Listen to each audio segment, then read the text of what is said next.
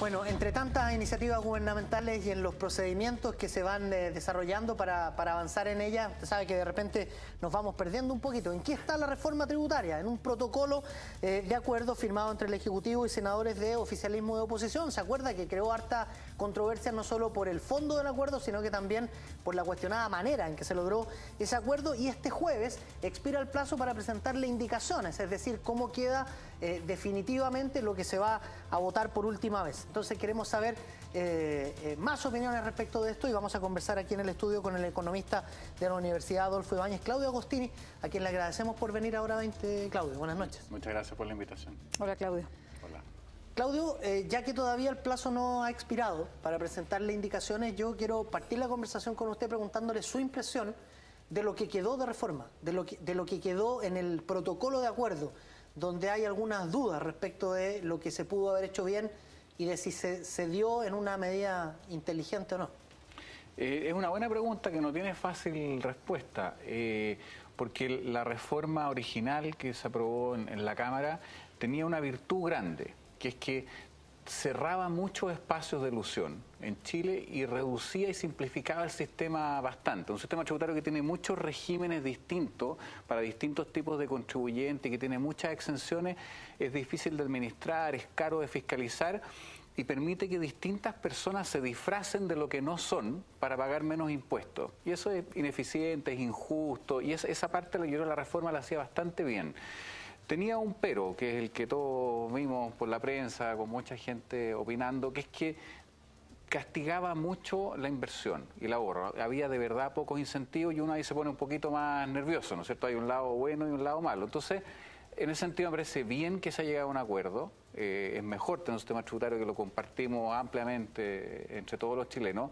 Pero lo que uno esperaba, o yo esperaba al menos, eh, es que después de escuchar las críticas a una parte específica de la reforma, en un acuerdo se hubiera profundizado en mejorar la parte que tenía mala la reforma, ¿no es cierto? Y haber puesto buenos incentivos a la inversión, buenos incentivos al ahorro y haber dejado la parte buena, ¿no es cierto? Que es eliminar la ilusión y permitir que el sistema sea equitativo en una dimensión súper simple. Dos personas que ganan lo mismo, pagan lo mismo, independientes, son trabajadores dependientes, independientes, empresarios, son agricultores, lo que quieran.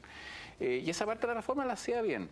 Y lo que uno ve en el acuerdo es que se introdujeron algunos incentivos a la inversión y al ahorro. O sea, efectivamente se avanzó en la dirección correcta en lo que tenía de malo la reforma y se retrocedió en lo que tenía de bueno, ¿no es cierto? Y se vuelven a crear regímenes especiales, algunos de los regímenes que se achicaban en la reforma que aprobó la Cámara vuelven a crecer de nuevo en el acuerdo y eso son un espacio de ilusión grande y genera inequidades. O sea, en ese sentido es un poquito desilusionante el acuerdo de que para, para avanzar en la dirección correcta haya habido que retroceder en otras dimensiones en las que ya se había avanzado en la dirección correcta. Claudio, yo creo que usted toca, teclas que son importantes porque la reforma seducía, o por lo menos lo que entendíamos que tenía que haber más justicia en este tema, eh, o pensamos, opinábamos eso, es que, claro, se quiere recaudar una cifra, pero a mí particularmente me seducía mucho que dijeran, pero saben que de aquí todo el mundo va a pagar lo que corresponde. Y creo que ese es un tema muy importante para un país como este que es tan desigual. Que te digan, no, el que gana más va a pagar más, el que gana menos va a pagar lo justo. Y que era un tema que seduce. A mí me gustaría saber si hoy día eh, todos estos protocolos de acuerdo a los que se quiere llegar para ir cerrando la reforma pueden efectivamente ponerle tapones a, estos, a estas fórmulas que quedaron sueltas, donde puede existir evasión o elusión tributaria. Eh, es una buena pregunta y hasta que no veamos las indicaciones en detalle uno no la puede responder lo bien que uno quisiera responderla, ¿no es cierto? Pero, pero, algunos signos de preocupación que uno ve en el protocolo y hasta que no veamos los detalles no, no podemos saber.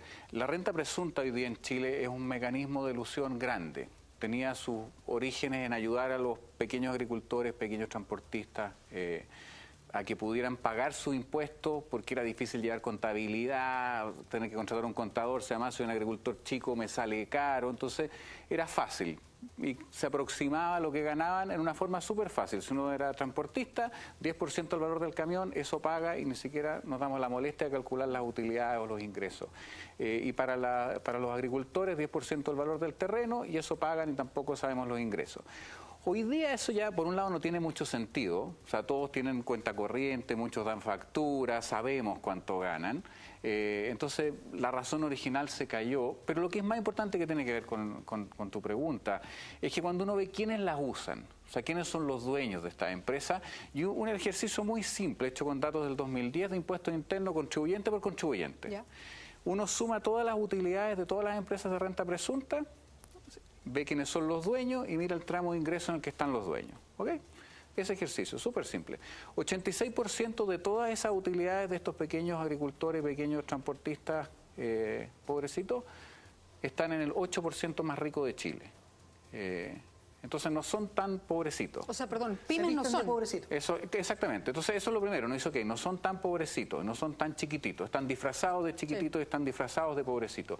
Y lo segundo es, bueno, qué tan efectivo es esto como instrumento para pagar menos impuestos, ¿no es cierto? Que es lo que planteabas tú. Uno vuelve a hacer este mismo ejercicio después que miro todas las utilidades, veo quiénes son esas personas y digo cuánto hubieran tenido que pagar si no se hubieran disfrazado de chiquitito, ¿no es cierto? Si hubieran usado los ingresos que tenían de verdad, hubieran pagado el doble. Entonces uno dice, este es un mecanismo que está obsoleto, que lo usa fundamentalmente el 8 o 10% más rico y que le sirve para pagar la mitad de los impuestos de lo que deberían. La reforma original que entró nos hacía cargo de eliminarlo, que es lo que yo creo que hay que hacer, pero la reducía bastante, le ponía un tope a 2.400 UF por empresa. Y había algunos mecanismos para, y eso están los detalles, para que uno no se disfrace de 14 empresas chicas, ¿no es cierto? Eh, y en el, en el, protocolo todos esos topes se amplían, de 2.400 UF a 5.000 UF, a 17.000 UF. Eh, o sea, en ese sentido estamos caminando en la dirección equivocada en el protocolo respecto a la reforma que salió en la Cámara y tiene todos estos riesgos de generar injusticia. O sea, el que se puede disfrazar de pequeño agricultor o de, pequeño transportista va a pagar menos impuestos que los que no podemos hacerlo y ganamos lo mismo. Y eso es injusto, por decirlo menos. En su condición de economista, a mí me gustaría preguntarle, incluso, y esto va mucho más allá del acuerdo y de las tuercas que se podrán apretar o no, yo quería preguntarle cuál era la reforma que usted soñaba, porque cuando uno habla de una reforma tributaria, habla, usando un dicho coloquial, de ponerse colorado una sola vez. Yo no me imagino a dos años de nuevo volver a meterle mano al tema. Entonces, ¿Cuál era la gran o la buena reforma tributaria para hacer una sola vez? Le pido por favor no me responda que tenemos que hacer una pausa y seguimos conversando aquí en Hora 20. Estamos haciendo hora 20, estamos conversando con el economista Claudio Agostini respecto de la reforma tributaria que vive días bien importantes y antes de la pausa le dejamos la pregunta que él decía y es la pregunta del millón lanzada ahí. Eh, bueno, si hay que hacer una sola reforma tributaria para no estar modificando este tema cada rato, ¿cuál era su juicio, Claudio Agostini, una reforma ideal? ¿Qué temas había que tocar que, por ejemplo, no están aquí o están mal tocados? Eh, a ver, es una buena pregunta de difícil respuesta, pero, pero para que uno no se le pierda el norte, hay un, economista inglés que tiene una frase notable, que dice el sistema tributario ideal debe ser simple, justo y eficiente. Y eso yo creo que es el norte que uno no se debería ver de esas tres palabritas, el premio Nobel a mano, ¿eh? eh, John Mirles. Eh, entonces uno quisiera avanzar en esa dimensión. ¿Cómo avanzamos en Chile en esa dimensión? Y a propósito de tu pregunta anterior, que es parte de la justicia implica que dos personas que ganan lo mismo pagan lo mismo. uno quisiera tener un régimen general, no varios regímenes. Hoy día tenemos varios sistemas tributarios para distintos contribuyentes. Uno quisiera uno uno y que se haga cargo de los ingresos de cada uno y pague de acuerdo a sus ingresos independiente de la actividad que tiene, cómo se organiza, en qué sector económico está, en qué región vive. Eh, y eso eh, no es fácil de hacer, pero el sistema tributario chileno, el, que, el, que, había como régimen general, funcionaba bastante bien y había que tapar algunos espacios de ilusión para que efectivamente algunos no pudieran disfrazarse de otra cosa y pagar menos. Entonces yo hubiera dejado ese régimen general, después podemos hablar de los hoyos de ilusión, tapando los hoyos de ilusión, y un régimen simplificado para las pequeñas empresas, donde de nuevo no se nos puede perder el norte. Uno no puede pensar en las pequeñas empresas que tengan una tributación distinta solo por ser pymes, como si fueran algo así que cayó del Olimpo y son ciudadanos mejores que todos los que no somos pymes. No, se dedican a algo distinto, igualmente legítimo que la actividad de cualquier chileno, deberían pagar lo mismo de acuerdo a sus ingresos. ¿Por qué uno quiere un régimen distinto? No para que paguen menos, y eso es lo que no se puede perder en el norte y, lo, que los regímenes especiales hoy día sí hacen. Uno quiere un régimen distinto para que les sea fácil cumplir.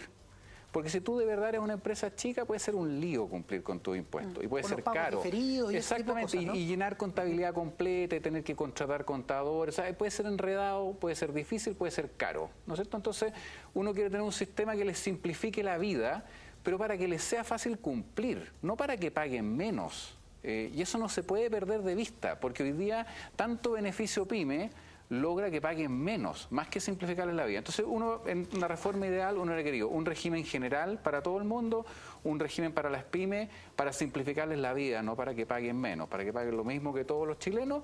Yo no hubiera querido eliminar un montón de exenciones que solo sirven para, para pagar menos impuestos, no tienen sentido. Y uno hubiera querido una tercera dimensión de los impuestos que tiene la palabra eficiente de estas tres que nombramos al principio. Los impuestos pueden ayudar a corregir algunos problemas que tiene la economía. Un buen ejemplo es la contaminación. ¿No es cierto? Se usa combustible, se usa diésel que contamina, cuando se usan autos y camiones congestiona, causa accidentes de tránsito y lo usamos más de lo que debemos. ¿no es cierto? Un impuesto puede ayudar a que se use en la cantidad correcta y se reduzca la contaminación, la congestión, los accidentes de tránsito. Ese impuesto hoy día en Chile no cumple ese rol. El de la gasolina está en lo que debería ser, 6 UTM eh, por metro cúbico, que son como 260 pesos el litro. Yo sé que esto no es muy popular. Pero también hay un régimen especial ahí. Por supuesto. Y el diésel. Y en el diésel es donde tenemos un problema.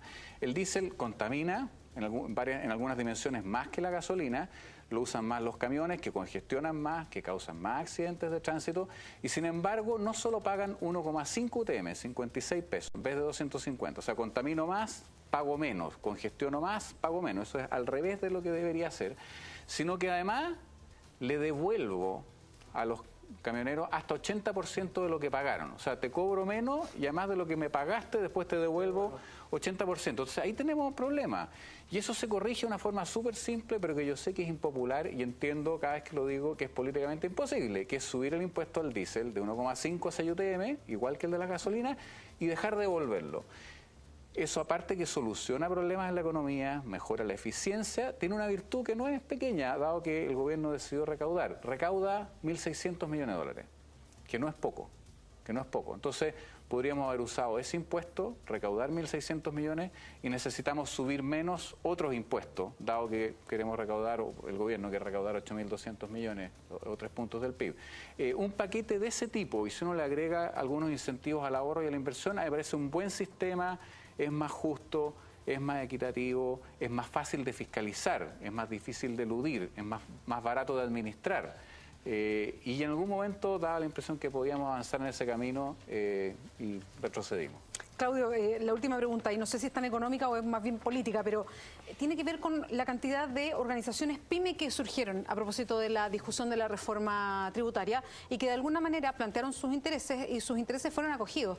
Y ahí uno em, empezó a cuestionarse, bueno, ¿cuánta, cuán, pymes son realmente estas pymes o estas asociaciones pymes que se presentan? Sobre todo por las cifras en que eh, se, fue, se fueron incorporando, se supone, estas pequeñas y medianas y que elevó harto la cantidad de beneficios que podían tener considerándose pymes.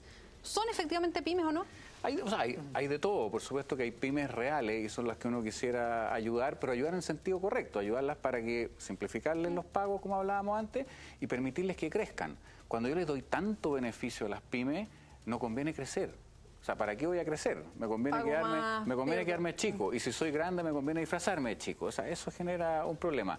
Pero cuando uno mira algunos datos de nuevo, mm de distribución del ingreso. Cuando uno mira los dos regímenes principales que usan las pymes hoy día, uno se llama 14 bis, otro 14 4, más allá de nombre y tecnicismo. Uno hace el mismo ejercicio, qué sé yo, uno va y sabe quiénes son los dueños, cuántas utilidades tienen, veamos qué tramo de ingreso está en el mismo de renta presunta. 77% de todas las utilidades de esas pymes pertenecen al 10% más rico de Chile. No es poco el número. Entonces, de nuevo, hay un grupo grande que se disfraza de pyme para pagar menos impuestos. Eh, ahora, por supuesto que hay pymes reales también, sin duda, sin duda, y, que están apretadas por, otras por otras razones que no son precisamente las tributarias las más importantes. Las pymes tienen problemas de caja, tienen problemas con que le venden a empresas grandes y las empresas grandes les pagan seis meses después y ellos tienen que seguir pagando sueldos. Esos son los problemas reales de las pymes. Eh, y esos tributariamente tienen solución relativamente fácil. Pero si para solucionar eso vamos a hacer que el dueño de una pyme pague menos impuestos que alguien que gana lo mismo y no es pyme, tenemos un problema. Claudio Agostini, muchas gracias por acompañarnos hoy día para seguir conversando y entendiendo más todo lo que tiene que ver con la reforma tributaria.